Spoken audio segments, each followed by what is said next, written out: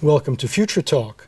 On today's program, we're going to talk about neurobotics, which is a relatively new field of science that combines neuroscience with robotics. My guest is Yoky Matsuoka. She's a leader in the field, and she was founder and director of the Neurobotics Laboratory at the University of Washington. She's currently vice president of technology at a company called Nest. Her long term research interest is prosthetic limbs controlled directly by the human brain. Yoky has won numerous awards, including a MacArthur Foundation Genius Grant and the Presidential Early Career Award for Scientists and Engineers given by the President of the United States. She also has her own nonprofit foundation called YokyWorks, whose mission is to develop ingenious engineering solutions that allow people to overcome their physical or sensory limitations. Yoky has been profiled on PBS's Nova and has a PhD in electrical engineering and computer science from MIT. Born in Japan, she once aspired to be a champion tennis player. A series of injuries ended her tennis career, but got her thinking deeply about the mind body connection which eventually led to her career in science. Yoky, welcome to the program. Good Thank to have you today. Yeah, thanks, Marty. I'm delighted to be here. So tell me, how did an aspiring tennis player become a scientist? How did that connection work? Well, um, when, when I was trying to be a tennis player and my career started to sort of dwindle in college, I needed to think about something else to do with my life. And when I started to think, I was starting to combine, well, something else I'm good at, which is math and science, see what I could do. And what I decided that I really wanted to do was to build a tennis buddy for myself, which is made of robots with real artificial muscles and then the robotic legs that run around on a tennis court, and then have buttons on the body that actually has, you know, how fast the speed of the ball is that day. And actually, on the day that I really wanted to win, maybe it would just make it competitive, but just a little bit weaker than me.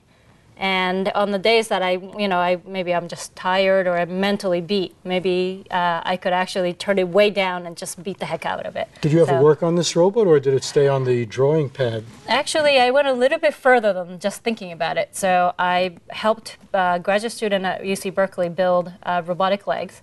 Then I even went on to graduate school at MIT to build a upper torso of a humanoid robot. In fact, I think we have uh, a slide showing uh, one of the robots you worked on. Can we see that slide, please? That first slide? Okay, so what are we looking at here? This is actually uh, what I've worked on at MIT. The guy on the left is Rodney Brooks. Uh, he was my PhD, uh, master's and PhD advisor who led this project. And then this robot to the right is called COG, C O G, uh, stands for cognition. Uh, our goal was to really build a robot that has a two year old level cognition and just physical and all the ability. That's pretty smart for a robot. it's amazing, actually. You know, building a two-year-old, spending five years of graduate student's time was really the goal, and you know, sort of really trying to lead up to the tennis buddy. I was in charge of the limbs, and I started working on the hand at that point.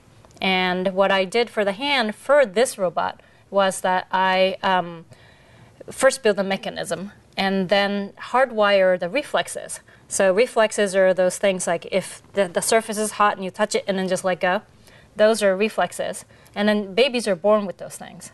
So I hardwired it and then the rest was all learning, again, just like a baby. Well, I think we have a slide that shows something about those reflexes. There it is right now. Ah, well, yeah, so this one actually shows you how the brain, um, so brain is a nervous system and then it actually has tails coming out of it, which goes into the spinal cord and then comes out through your arms and then goes to your muscles and eventually goes to your um, arms and hands and then that makes the motion possible. So that, yeah, uh, but this, that, that slide was just showing that, you know, as we think about moving the hands, we naturally make motion and it's interesting to start to think how can the you know the robotics or artificial intelligence really capture those motion So you want to mimic the human body. The human body is the model, and you want to replicate it pretty much.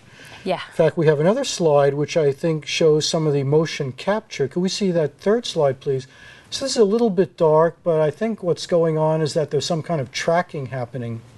yeah so you know if you notice that most of the robotic device, or even if you imagine how robots move, often they move in a clunky way, right? To the point that when we, say, when somebody say walk like a robot, we do this uh, uh, uh, uh, uh, think thing, those right? old science just- fiction movies from the 1950s. Right, right, and it's that's because the robot get that reputation. It doesn't make human-like motion, but what we actually have to do is to capture motion like this, and then really try to understand how humans make smooth motion, and even come up with a mathematical formula for it, So and that- then So that slide was tracking human motions, and then right. when you capture that, you know what the robot has to do. Yeah, that's right. So if we could keep track of the brain signals and the motion, then if you try to understand the relationship between them, then we're onto something.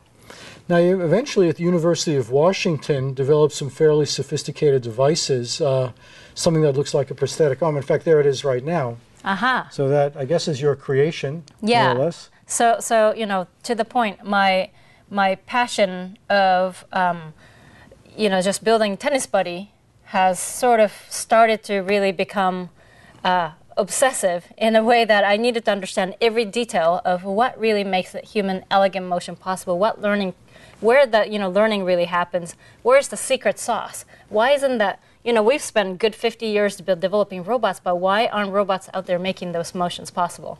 So we, we even started from bones and tendons and muscles and imitating all those details and then trying to really get down to that level that, you know, We have one can more imagine. slide. This is Oh. our last slide, and so that looks like a close-up of the hand of that same prosthetic arm. Yeah, as you can see, you know, those white things, those we actually took the laser scan of human bones, the cadaver bones, to capture some of the details of bumps and grooves that we don't even understand why they're there. Because as long as we use cylindrical, robotic, metallic bones, we will never understand the meaning of those things that might be extremely critical. Now, in this type of prosthetic arm, um, is it meant to ultimately be used on a person? If so, if you strapped it on someone, how would they control it? I understand that you're trying to figure out how to make it controlled directly by the person's brain.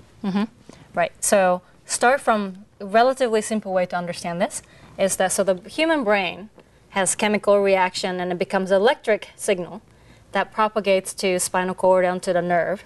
And then the, the electrical signal is that arrives at the muscle, the muscle contracts. That's sort of how the brain signal works. Now, the non-invasive way to control the prosthetic limb is to put a sensor on top of tho- those muscles that are still there and then trying to capture that electrical signal that just arrived from the muscle, the, from the brain, mm-hmm. And then use that to amplify that signal and then to move the robot. So, as you know, we could say, now think about moving your hand, you know, opening and closing without actually doing it. You're thinking about it, right? Mm-hmm. You're thinking about it. Okay. At that moment, now you're, some muscles, the signals are starting to be sent to the muscles that really allow this to happen. And if you didn't, if, if I chopped off your arm, God you still, forbid. if you still, you still have some muscles left, and an electrical signal still would be arriving. Mm-hmm. We take those signals, then we make the prosthetic hand open and close. So, how does that work? Because you have these nerve cells which carry an electric signal, and you have metal wires which can carry a signal. So, do you actually attach the end of a nerve cell to the end of a metal wire? There are many ways to do it, actually. So, their level of invasiveness. The non-invasive way is really on the skin, put a little sticker, and trying to capture the little bit of electrical signal that's going on inside, amplify it, and then send that through the electric wire. That's a non-invasive way. But going all the way, you can actually have something on the on top of the he- you know the skin on the head. That's called EEG, or you know peel the skin off, drill the hole, and then go into the, the sort of the surface of the brain. It's called ECOG. You can get more information. And then there are even electrodes that go right into the brain tissue and can measure that, that exactly what you're talking about in terms of the neurons and neural, you know, nerve signals. Because that and we can sounds hi- capture that. highly invasive, though, to drill a hole in your brain. Well, well, we're not drilling holes in the brain yet, but Mm-hmm. we're drilling holes into the skull. But it's actually not so invasive. So, so how so how far is this from being used? I mean, is it is Ah, it in the stage where somebody could strap this on and actually move? Yes. So actually, you know, how realistic is it? Is sort of I'm going to twist it a little bit. So how realistic is it to have something like that in the brain? It's actually realistic that it's FDA approved, you know, Parkinson's um, uh, surgical um, treatment includes implanting a chip in the brain.